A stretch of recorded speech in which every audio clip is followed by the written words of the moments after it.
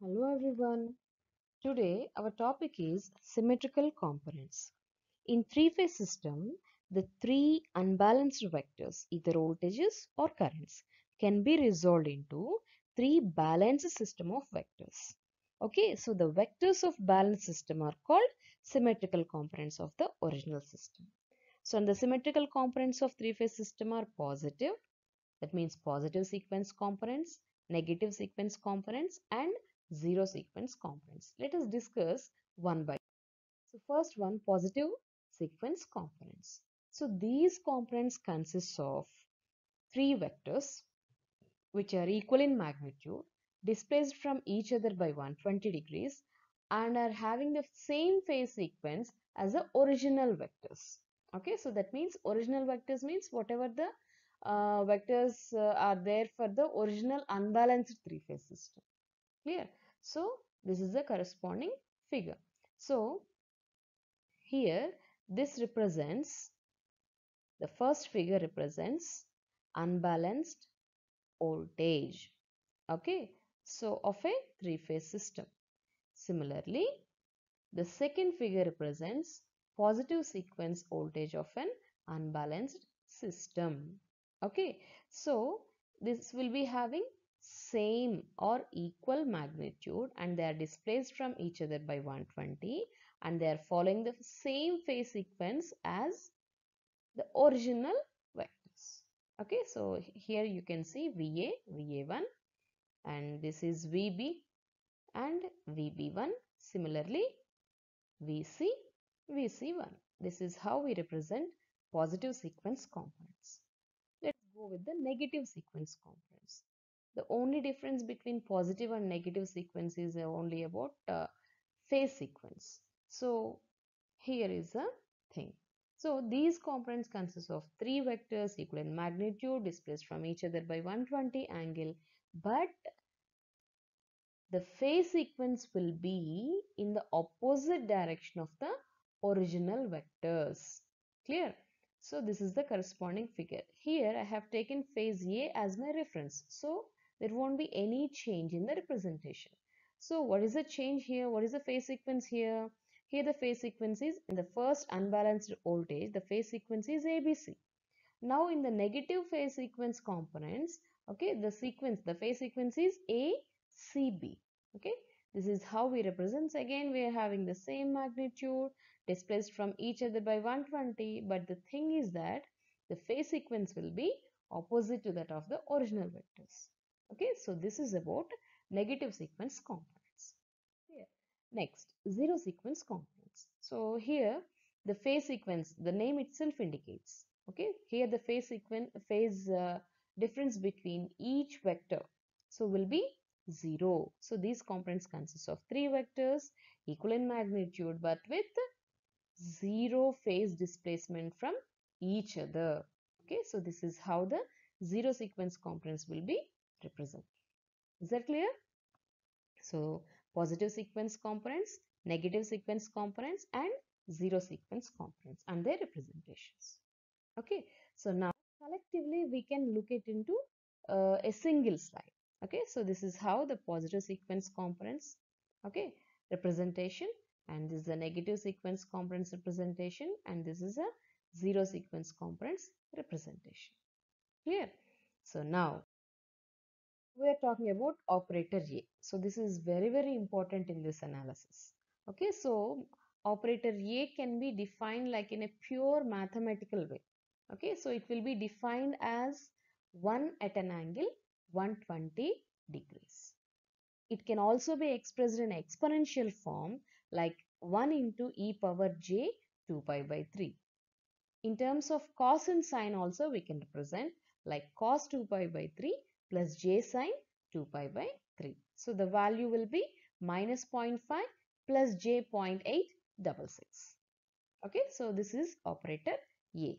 So similarly, A square can be calculated and a cube can be calculated so whatever the uh, calculations may be we may calculate and uh, this relation that is 1 plus a plus a square relation is very very helpful in our coming derivation so that's why we have we are going to relate the relation in an earlier way Okay, so we just substituted here. So A with A with minus 0.5 plus J 0.866 and A square with again minus 0.5 minus J 8.66. If we do the calculation, simply we'll be getting 0. So whenever you observe this 1 plus A plus A square, simply substitute that with 0. So we need to remember this relation for a long time as we all studying power systems. So we need to remember certain relations. So this is one, of, one among them. Okay. Now let us discuss computation of unbalanced vectors from their symmetrical components. Okay. So later we can uh, do the same uh, with symmetrical components from unbalanced vectors. So now let us discuss the first case, unbalanced vectors from their symmetrical components. So now each of the original unbalanced vector is a sum of its positive, negative and zero sequence components. Okay, so keep this point in your mind in a very very clear way.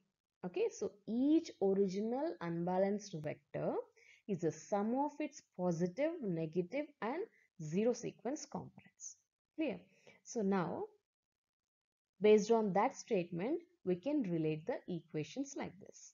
So where VA, so VA is the unbalanced voltage in phase A. So VA0 is a zero sequence component. VA1 is a positive sequence component and VA2 is a negative sequence component. Similarly, we can do the same for phase B and phase C. So, these are the three relations. Is that clear? Now, this is uh, again the same uh, vector diagram. I just called back here positive sequence, negative sequence and zero sequence components representation. Clear? So, now we are going to relate these terms with operator A. We all know, right? So from the previous slide, we concluded that A is defined as 1 at an angle 120 and we calculated A square as 1 at an angle 120.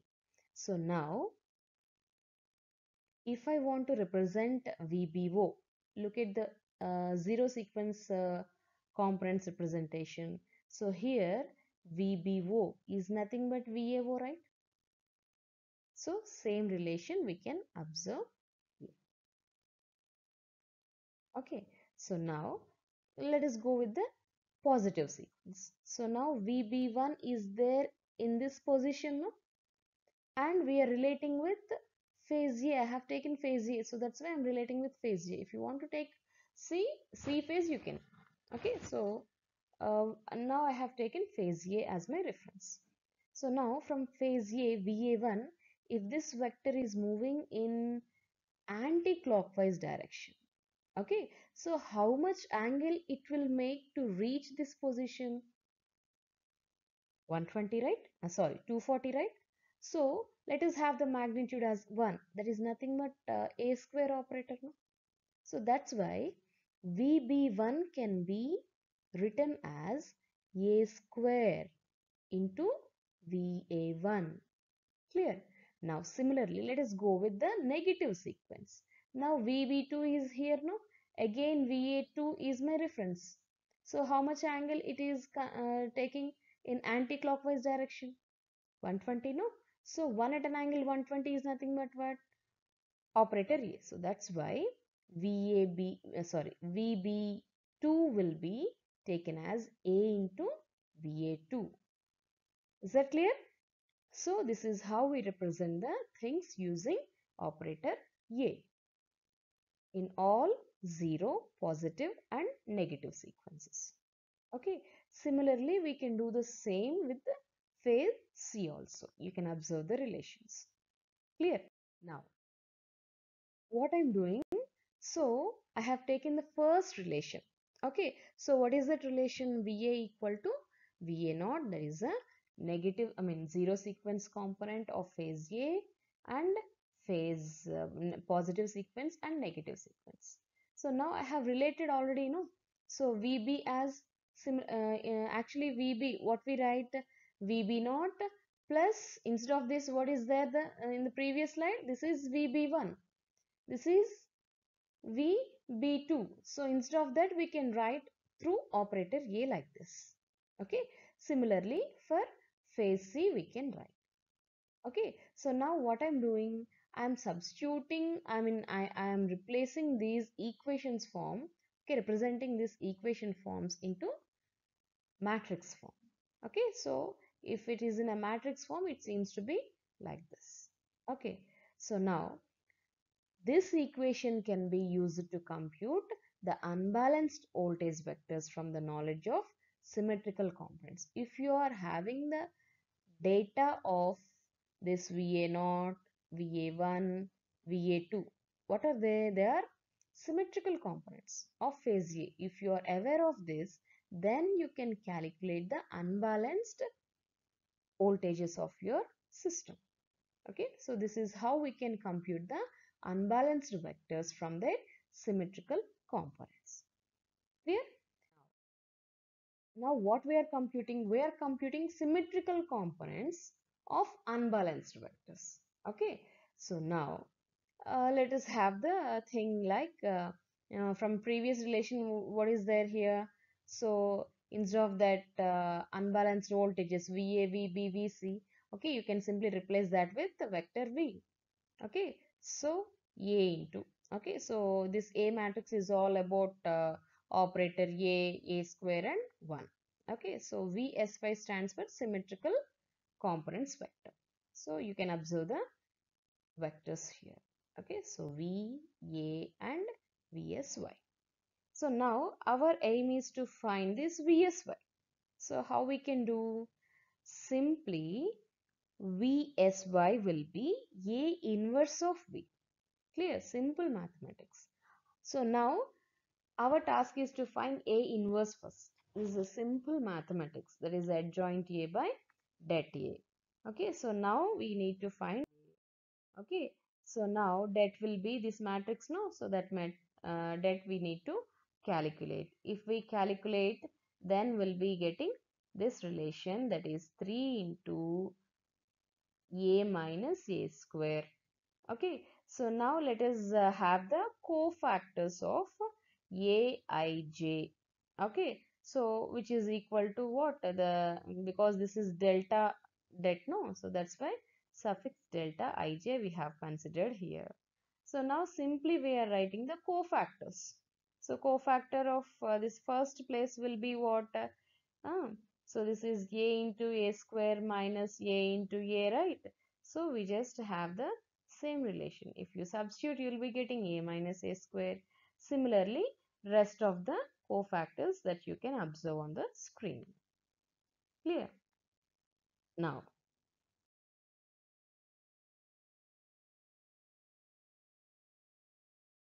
So now what we are doing, we are substituting the equation with cofactors. So A inverse is equal to what? Adjoint here by det here, right? So 1 by det, delta, uh, simply you write it as. Okay, so adjoint here calculated, no? So transpose. So here what happens? So this rows will turn into columns. That's it. Okay, you can observe on the screen.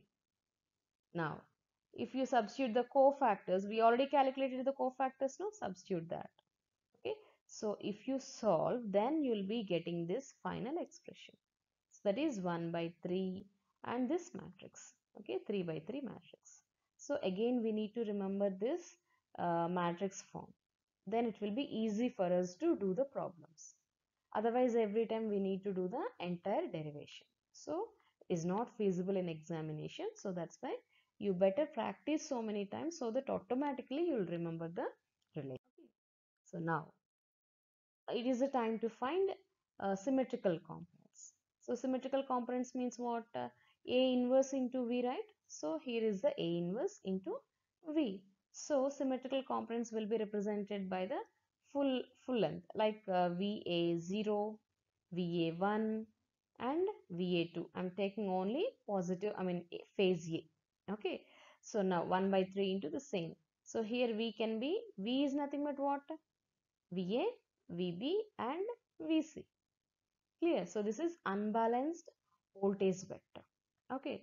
So now simply simple uh, matrix multiplication. Then you'll be getting 1 by 3 into va plus vb plus vc similarly va1 relation and va2 relation you can get.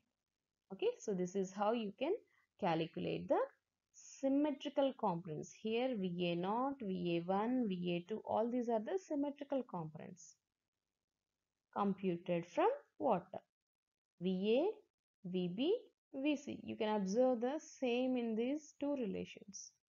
Okay. Now, symmetrical components of unbalanced currents can be observed. So now we have discussed so far is about voltages. Now it is the time to discuss symmetrical components of unbalanced current vectors. So no need to do any kind of mental work Simply if you understand the previous derivation, previous content, then automatically you will understand the same in this case. So or in the very simple way, just simply replace V with I. So uh, the derivation was done. Okay, so all the equations developed for voltages can be used for current if we replace voltage by I. Done. So these are the unbalanced phase currents the phase sequence is ABC. Is a positive phase sequence components of unbalanced currents uh, and which follows the same phase sequence of the original system that is ABC. Now we IA2, IB2, I, IC2 are the negative sequence components and they'll follow the sequence which is just opposite to our original phase sequence ABC. So here again A will be considered as my reference. So here the negative sequence will be ACB and zero sequence components uh, it can't follow any kind of phase sequence. They'll be all in phase. Okay? So these are the positive negative and zero sequence components of unbalanced currents IAIB so uh, the unbalanced current can be expressed in terms of zero positive and negative sequence components of your current. Similarly for phase B and phase C so here IB is represented in terms of phase A using operator A. Okay, so similarly IC will be represented in terms of phase A positive, negative and zero sequence components using operator A and A square. Okay, so if we represent these three equations in a matrix form then we can get the matrix equation like this. Similarly, in the reverse way, if I want to calculate so uh, symmetrical components of currents from unbalanced currents, then we can simply do the same derivation like we did in the voltages case. We can get the relation straight away like this. Okay, so in this way we can um, find symmetrical components of unbalanced current vectors or in the reverse way. So like in I mean unbalanced currents can be calculated using symmetrical components of currents. Okay, so this is about symmetrical components. Okay, I hope you understand. If you like the video, please like, share and subscribe. Thank you.